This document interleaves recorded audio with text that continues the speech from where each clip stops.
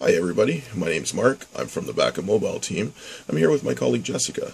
And today in this video segment, we're going to be looking at the new BlackBerry 10 operating system, focusing primarily on the BlackBerry Hub. We're using a Bell branded BlackBerry Z10 for our demonstration. So let's jump into it. All we're going to do on this is swipe up to get into our applications drawer.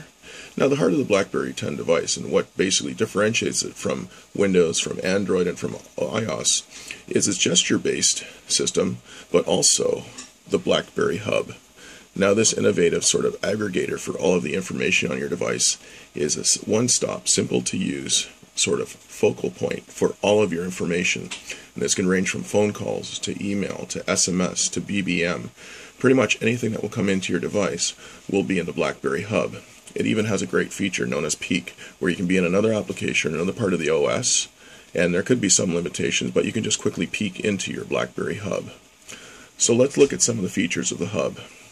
So first thing when you go into it, and in our demonstration you'll notice we have some text messages, we have some emails, we've got some notification for software updates, and we've got our welcome BlackBerry messages, we've got a time zone change.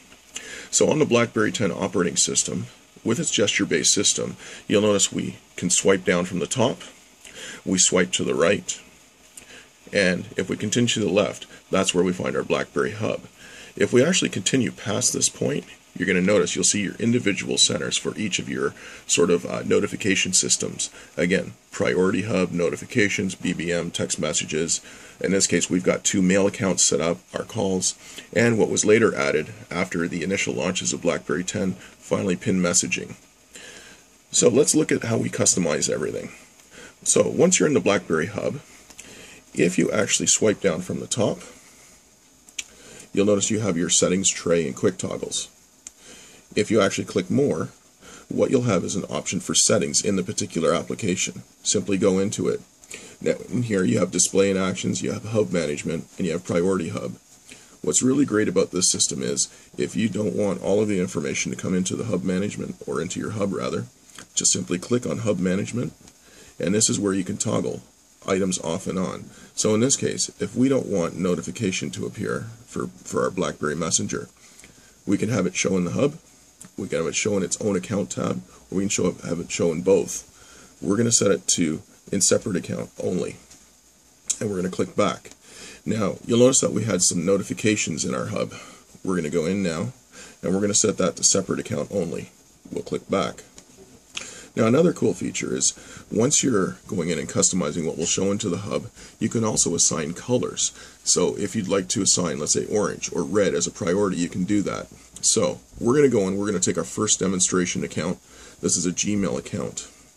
And you'll notice in here, we're going to leave this in both, but we're going to set the color to orange, high profile, high priority.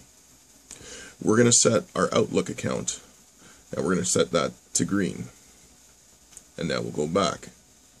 So now, if we simply continue back to our hub, you'll notice on the left hand side, we've got our green and our orange markers on the two different email accounts.